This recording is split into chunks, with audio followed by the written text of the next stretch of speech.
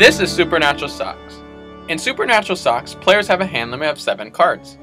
Your hand is going to be composed of two different types of cards. You have Socks and you have Ghost. The game is also played in three distinct phases. In phase 1, all players will simultaneously play 3 Socks face down in front of them. When all players have placed Socks down, they will reveal them in turn order, applying all card effects and placing them in their relevant place on the board.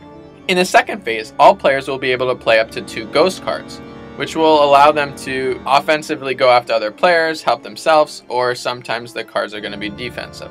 In the third and final phase, all socks in the dryer move to that player's laundry basket, where they score points and socks in the washer move to the dryer. Players draw back up to their hand limit of 7 cards, and then they repeat the cycle. Pun definitely intended. Supernatural Socks is a fun game about lost socks and cute ghosts. Please support us now on Kickstarter.